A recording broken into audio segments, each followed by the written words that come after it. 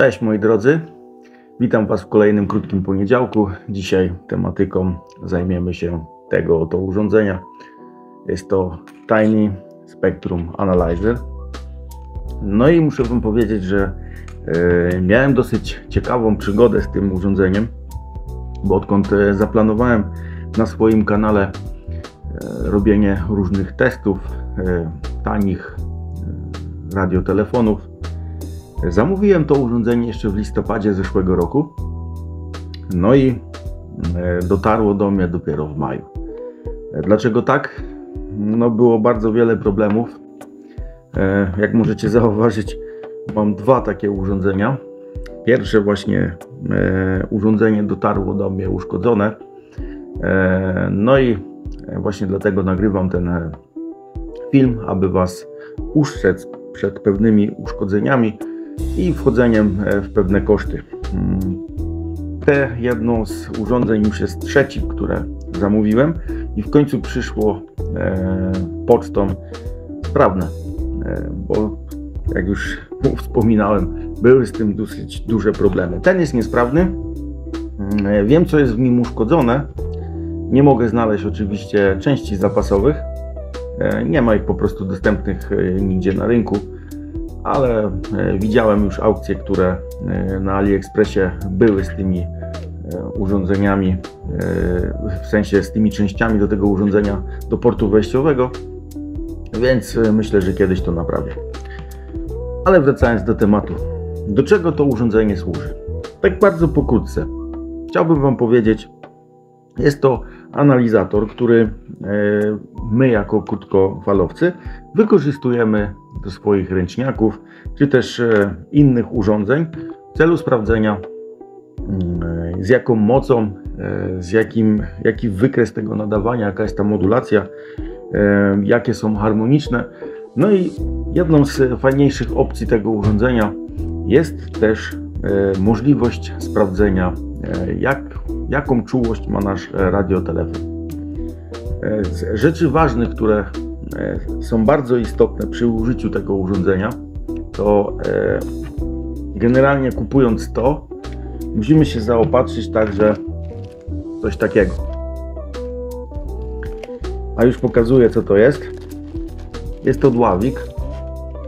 E, ten dławik jest akurat 10W, no i ma 40 dB. Do tego urządzenia nie możemy podpiąć bezpośrednio do tego portu żadnych e, sygnałów bezpośrednich. Czy to będzie z radiotelefonu, czy z jakiegoś innego urządzenia e, generującego, e, nadającego na różnych częstotliwościach. Co się stanie? Urządzenie się uszkodzi, spali się, więc generalnie się przyjmuje, że do takiego e, analizatora powinno się praktycznie na stałe mieć przymocowane e, dławik o wartości 30 dB. Ja mam 40 dB. E, nie będę tutaj prawdopodobnie nigdy używał tego urządzenia do sprawdzania żadnych wartości powyżej 10 W, bo można. Wtedy kupujemy oczywiście inny dławik dla większej mocy. Mm, Warto też e, zaznaczyć, że te dławiki one nie są e, też tanie. Średnia cena takiego dławika, który właśnie trzymam w ręce, to jest e, wartość około 100 zł, więc a proszę zauważyć, że jest to tylko 10 W. Oczywiście są też dławiki 1W, 5W, 4W. Są też dławiki 50W i 100W ale ich ceny są także odpowiednio większe. Przejdźmy więc do e, zobaczenia, co w takim zestawie jest w Tiny Spectrum analizatorze. I oj, tutaj mam jeszcze czujniki, które spakowałem wcześniej, ale one nam nie będą potrzebne. Przychodzi to w takim pudełku jak już mówiłem, jest to tak fajnie opakowane. Bardzo podobnie zresztą do urządzenia, które wszyscy chyba raczej znacie, a jest to Nano VNA. nawet sama obudowa i, i, i wygląd tego urządzenia jest praktycznie podobny. Tutaj mamy urządzenie. Ono jest oczywiście ofoliowane. E, warto je podładować oczywiście po, w momencie, kiedy ono do nas dotrze. No i w środku mamy taki blister. Tutaj mamy odnośnik do instrukcji, którą znajdziemy w internecie. Jest tam bardzo wiele informacji, jak używać to urządzenie, jak się odnajdywać w tym menu. Jeśli ktoś nie zna angielskiego, może zawsze sobie skorzystać z opcji tłumaczenia w przeglądarce. Jest to dużo bardziej zrozumiałe. W środku mamy taką oto antenę,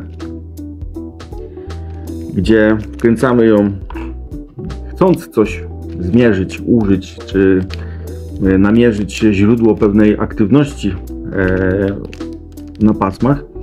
Możemy ją tutaj wkręcić. Jest do tego jeszcze przejściówka, gdybyśmy musieli e, łączyć to za pomocą kabla. No i instrukcja mówi też o tym, aby cokolwiek, co będziemy testować za pomocą takiej antenki, robić to w odległości około 1,5 od metra do 1,5 metra odległości od e, urządzenia e, TinySA. Dlaczego? E, jak już wspominałem wcześniej, nie podłączamy tu żadnego bezpośredniego sygnału. Do tego służy nam ten oto dławik, ale nie możemy przyjąć, to urządzenie nie może przyjąć większego sygnału niż 10 dBm na wejściu tutaj. Więc musimy pilnować tych wszystkich e, rzeczy, aby, e, aby nie spalić tego urządzenia. Układy na wejściu e, tajniego są no, bardzo małe i o bardzo słabej, o bardzo małej mocy, więc generalnie wszystko co wejdzie do tego urządzenia będzie sygnał powyżej plus 10, to uszkodzimy urządzenie. Dlatego warto pamiętać o tym. Na antenie możemy porównywać e, wykresy harmoniczne, czy też e, inne sygnały, które e, będziemy nadawać za pomocą czy PMR-ki, czy na przykład jakiegoś radiotelefonu, ale trzymajmy nasz analizer z daleka. W środku mamy jeszcze kabel oczywiście E, zarówno do ładowania, jak i kabel sygnałowy. E, to urządzenie możemy podłączyć e, także pod komputer. No i za pomocą aplikacji, która jest dostępna na komputery z oprogramowaniem Windows, możemy sobie ekran podglądać na monitorze naszego komputera. Tutaj mamy jeszcze smycz oraz dwa takie kable do połączenia urządzenia z czymś, co będzie nadawało sygnał. Tak mniej więcej prezentuje się to urządzenie i to, co otrzymamy oczywiście, kiedy dostaniemy przesyłkę na przykład z AliExpressu. Cena takiego urządzenia e, to jest około od 800 do 1000 zł. Można kupić też te urządzenia dużo taniej mm, w różnych promocjach. E, przy czym e, należy pamiętać też, że ceny, które są podane u sprzedawców, nie zawsze obejmują też cenę samej wysyłki. Więc podsumowując, z reguły ta cena oscyluje w granicach około od 850 do 1000 zł. Przy czym Warto też e, zaczaić się na jakąś e, promocję świąteczną, czy z powodu okazji mm, świąt, czy jakiegoś e, święta w Polsce, czy mm, wyprzedaży na przykład w listopadzie. Wtedy można zaoszczędzić około 100 zł. Co tu mamy? Nie będę omawiał samego urządzenia, no bo tych włączników jest niewiele. Mamy zwykły przełącznik oraz taki joystick manipulator Podobnie jak w Nano VNA, tym guzikiem e, włączamy urządzenie. No i mamy wykres. I co ten wykres nam mówi? Nasze pole działania to przedział od 0 do 800 MHz.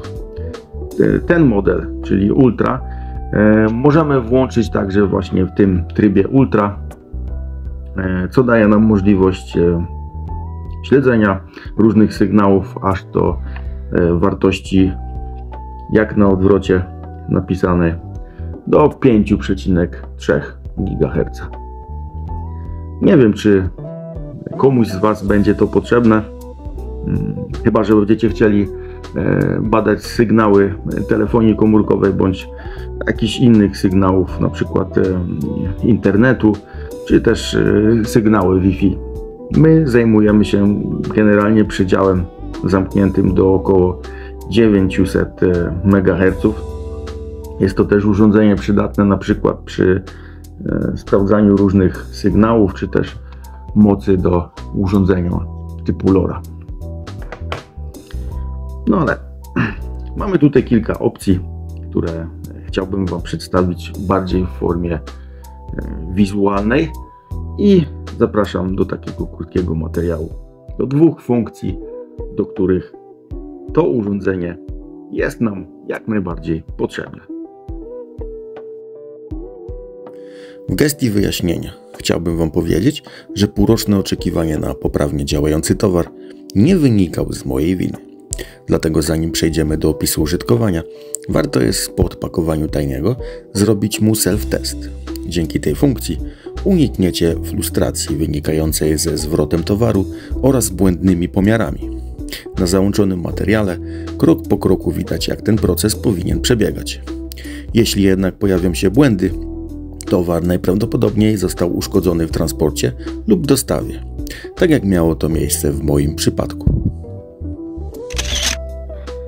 No to słuchajcie, kiedy już mamy zrobiony self-test i wszystko jest z naszym urządzeniem w porządku, pierwsze co powinniśmy wykonać przed użyciem e, tajniego jest jego kalibracja. E, tym samym podłączamy ten kabel tak jak było to do self-testu, gdzie tutaj e, z pierwszego portu wychodzi sygnał kalibracyjny, no a tu wiadomo sygnał odbiorczy jest podpięty do naszego urządzenia.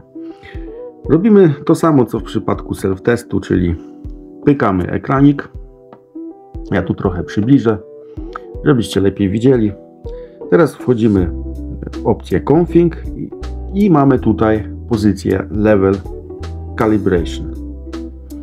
Tu wybieramy e, z jakiego poziomu chcemy, więc wybieramy ja wybieram pierwszą opcję no i naciskamy calibrate należy to urządzenie ustawić i nie dotykać E, bo kalibracja nie uda się w momencie, kiedy, e, że tak powiem, będziemy tu coś majstrować, dotykać tego, e, na pewno się ta kalibracja tutaj nie powiedzie. No, teraz proces zachodzi bardzo szybko. Mogą wystąpić tutaj pewne, że tak powiem, nieścisłości, bo o właśnie tutaj się pojawia. Nie mam teraz włączonej opcji Ultra, E, a ustawienie kalibracji jest do zakresu 5,3 GHz. Więc e, generalnie ten self-test, self-test, przepraszam, ta kalibracja nie będzie się odbywała w trybie ultra, bo obecnie takiego nie używam. Przechodzi po prostu zwykłą, normalną kalibrację, która go zgrywa do poziomu, który jest dla nas użyteczny w odczycie. No i jak widzicie tutaj Proces e, bardzo szybko e, zachodzi. E, kalibracja pojawiła się na zielono, jest. Przyciśnij, by kontynuować. No i wracamy teraz do głównego menu. Pierwszą ważną funkcją tego urządzenia jest badanie wykresu naszego sygnału, określanie jego mocy oraz harmonicznych generowanych przez nasze urządzenie nadawczo-odbiorcze. Za przykład posłuży mi radiotelefon Rattel, którego częstotliwości harmoniczne wychodzą daleko ponad dopuszczalne. No i słuchajcie, kiedy już mamy wszystko podłączone, tak jak tutaj na załączonym obrazku, e, możemy użyć teraz e, radiotelefonu. No i e, Poczekajcie, muszę tylko sprawdzić, jaką mam wybraną częstotliwość. Tak, zaczynamy w paśmie 2 metrów. 145 500. E, moc tego urządzenia chyba jest ustawiona na maksa. Zaraz e, się o tym przekonamy. Jak mierzymy harmoniczne? E, pukamy ekranik, oczywiście. Tutaj mamy opcję Measure. Zaznaczamy harmoniczne. No i będziemy mieli oczywiście wykres e, wszystkich e, nośnych, które nam się tutaj pojawią. No i oczywiście będziemy mieli pierwszą nośną, e, poziom jej sygnału i zobaczymy kolejne następne harmoniczne. Przypominam, jest to telefon, radiotelefon Rattel, bardzo niska półka. No i sami zobaczycie, co ten radiotelefon jest wart. E, ustalamy 140, oj, przepraszam, 140 na początek mega, środek na 450 mega i możemy, że tak powiem, testować. Naciskamy PTT i jak już widać, wszystko rośnie.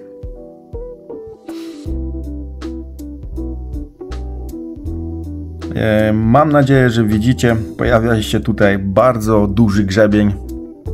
E, no generalnie druga e, harmoniczna jest minus 7 trzecia jest minus 30, ale jak widać nadaje w paśmie 291 MHz.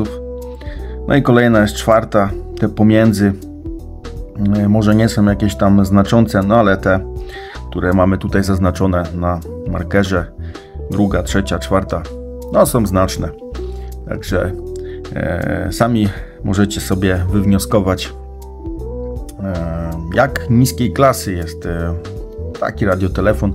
Oczywiście te harmoniczne, one nie będą e, tak wielkie, kiedy podłączymy tu antenę, która w tych pasmach nie nadaje, ale warto by było jak już to wielokrotnie powtarzałem, zastosować w tych tańszych rozwiązaniach też jakiś filtr. I tutaj może kiedyś producenci takich sprzętów pójdą e, z tą sentencją do pomyślenia. Drugą przydatną funkcją, którą możemy zastosować do testów naszego radiotelefonu, jest sprawdzenie jego czułości. Jest to test polegający na sprawdzeniu, jak długo generowany sygnał stajniego będzie w stanie otwierać squelcha w naszym radiotelefonie oraz jak długo także sygnał będzie słyszalny w szumach. Ten test także zalecam wykonywać z dławikiem, chroniącym urządzenie przed zniszczeniem. Mimo, że sygnał przesyłany jest w odwrotnym kierunku, przypadkowe naciśnięcie klawisza PTT może zniszczyć urządzenie. Pierwszym krokiem jest wejście w menu główne urządzenia oraz przejście w tryb generatora sygnału. Tutaj stawiamy wartości początkowe i stopniowo obniżamy poziom sygnału, sumując go razem z wartością dławika. Słuchajcie, mamy wszystko już podłączone, tak jak już e, wcześniej mówiłem, razem z tłumikiem. No i teraz e, przechodzimy do e, menu generatora, którym będziemy generować sygnał podawany na nasze, na nasze, na nasze urządzenie. W tym celu wchodzimy w mode, no i Signal Generator jest to druga pozycja w większym menu. Teraz e, przypominam, sprawdzamy urządzenie e, w paśmie 2 metrów, więc musimy wpisać tutaj e, częstotliwość 1455500 kHz. No i jak już widać, pojawiło się otwarcie squelcha. Na razie wyłączę. Żeby było coś słychać, to damy modulację FM oczywiście, bo jest to e, urządzenie pracujące w modulacji FM. No i cóż, mamy pisk i słychać.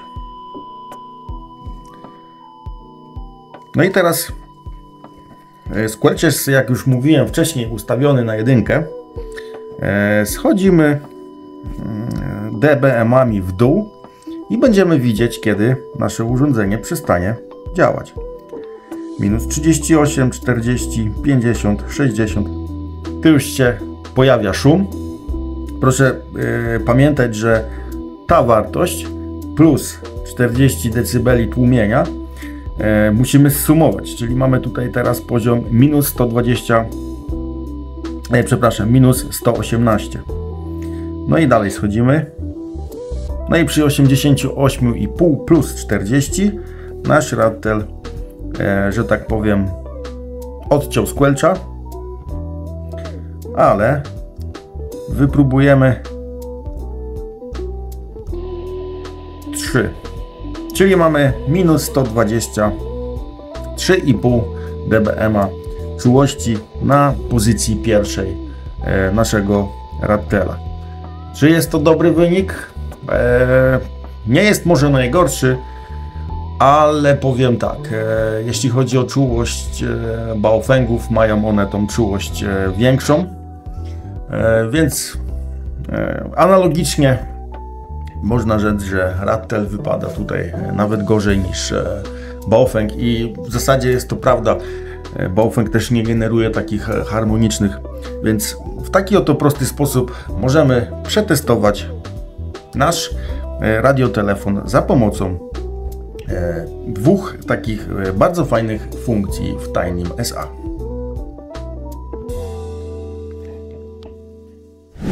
To w zasadzie wszystko na dziś.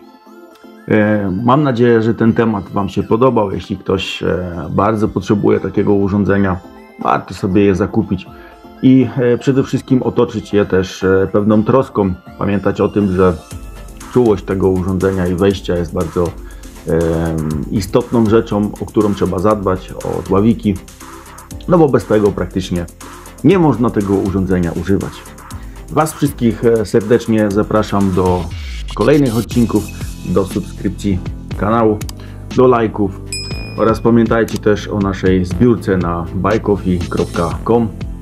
Zbieramy e, pieniążki na radiotelefony dla grupy harcerzy z miejscowości Żary. Miejmy nadzieję, że tą e, niedużą sumę uzbieramy stosunkowo szybko i przed wakacjami będziemy mogli zakupić dla harcerzy te właśnie radiotelefony, które sobie założyliśmy, że kupimy. To wszystko na dziś. Do zobaczenia, do usłyszenia i bez odbioru. Cześć!